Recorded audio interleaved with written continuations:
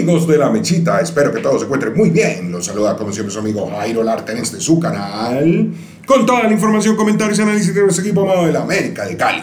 Suscríbanse de una vez, activen esa campanita porque van a tener todo el contenido de la América en exclusiva, del fútbol internacional, del fútbol mundial. Van a poder ganar como todos los ganadores que hemos tenido. Acá sí los premiamos, no solo les subimos contenido.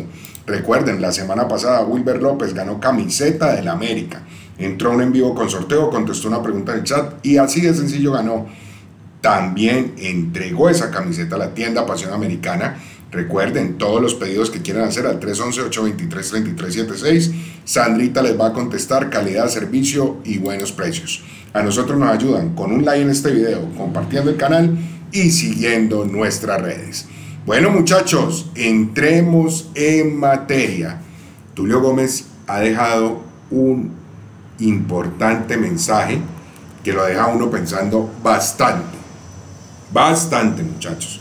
Porque él, estado, él ha estado muy activo estos días, eh, hablando de diversos temas, ¿ya?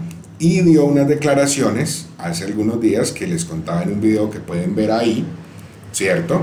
En el canal, dio claridad sobre será lo que será el América en tema de contrataciones, ¿ya? De lo que se viene en el 2023. Yo siempre les he dicho a ustedes algo. Hay que partir de una base, muchachos. Si América tiene torneo internacional, va a recibir ingresos adicionales que le permitirán poder invertir ese dinero en el tema de una nómina competitiva, ¿cierto? Miren ustedes, cuando se clasifica a Libertadores son casi 3 millones de dólares, más de 3 millones. Si se clasifica a Sudamericana en primera instancia, no es tanto el premio, pero a grupos el premio va subiendo. O sea, eso es algo que hay que tener en cuenta. Y en este momento América está fuera de todas esas competiciones. Básicamente le está quedando un solo camino, que es ser campeón. ¿Ya? Y el fin de semana, don Tulio mencionó unas palabras sobre el tema del estadio, sobre lo que será América en el 2023, lo del estadio, ya les subí un video hoy con toda la realidad sobre ese tema, ¿cierto? Y bueno, lo que dijo don Tulio generó mucha expectativa en la hinchada del América. Yo se los contaba, sobre todo para lo que se viene el próximo año y más cuando hemos estado en el dique seco y no nos podemos echar mentiras. Nosotros apoyamos con todo la nómina que hay, pero la nómina que hay en América desde hace un año, cuando llegó el señor Osorio, no es la de grandes estrellas, grandes jugadores con jerarquía, nada de eso. No nos digamos mentiras. Los apoyamos, sí, porque está en la América. Pero la realidad en cuanto a eso no la podemos ocultar. Y la frase que tiró Don Tulio fue, ese cuentico de que plata no hay, pues en 2023 que digan plata si hay. Esa fue la frase que soltó Don Tulio, además de lo que habló del estadio y toda la cuestión. Y con esa frase ha alborotado el cotarro y el hombre salió a darle claridad a esto. Habló con claridad del asunto, donde fue tajante, no hay nada cerrado y que se viene trabajando para ello. Lo habló con la banda deportiva de RCN Radio, damos el crédito. Le consultaron si el fondo de inversión que se encargará del tema del estadio, ¿cierto? que hoy inclusive en Campanas Díaz David Anaya contaba, amigo de esta casa, que es un fondo de inversión español, pues le preguntaron que si también iba a ser socio del equipo para el 2023. Y lo negó, pero dijo también que será importante. Explicaba don Tulio, el fondo se encargará del estadio, pero nos da músculo y nos vuelve más atractivos para un fondo de inversión. De eso se trata. América es un equipo grande y necesita un fondo grande que tenga una chequera. América tan grande, con un estadio propio, necesita un, equipo acorde al estadio para mantenerlo lleno, dijo inicialmente don Tulio, dueño de la América.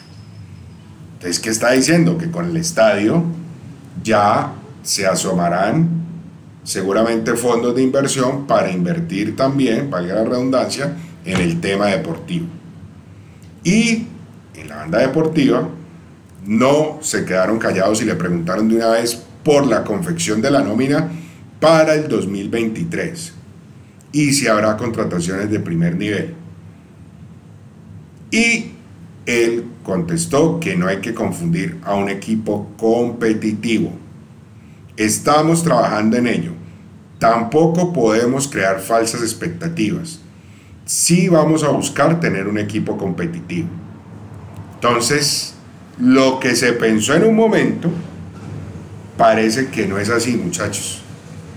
Parece que básicamente la estrategia seguirá siendo la misma de un equipo competitivo, más no estrellas rutilantes, ¿ya? Ni jugadores con renombre. Cuando se hablaba de la construcción del estadio, fue claro, no va a poner dinero, ¿ya? Proyecto que cuesta algo cercano a los 100 millones de dólares. Pero también dijo que este proyecto le va a generar ganancias a la América. Entonces, muchachos, habrá que esperar, no hay nada cerrado. El tema de que va a haber un equipo muy, muy eh, de jerarquía en América para el próximo año no es una verdad de apuño. Don Tulio salió a aclarar la situación y bueno, yo los leo. ¿Cómo creen que será esa nómina para el 2023?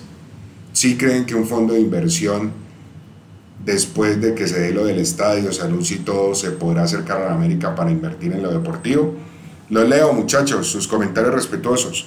Si les ha gustado el video, regálenos un like, compártanlo en sus redes sociales, sigan las nuestras, el grupo y la página de Facebook de La Mechita, Pasión de un Pueblo, Twitter arroba La Mechita 11 y arroba Jairo Lartes. También el grupo para hinchas de la América de Cali, el Instagram para hinchas de la América de Cali de Mauro Rivera. Y recuerden, todo lo que quieran en detalles, desayuno sorpresa para esa persona especial, la esposa, el esposo, la mamá, el papá, la novia, el novio, en Antonias Candy. María Antonias Candy, llaman al 312-517-3287, escriben en Bogotá. No siendo más, me despido, les mando un gran abrazo, cuídense y hasta pronto.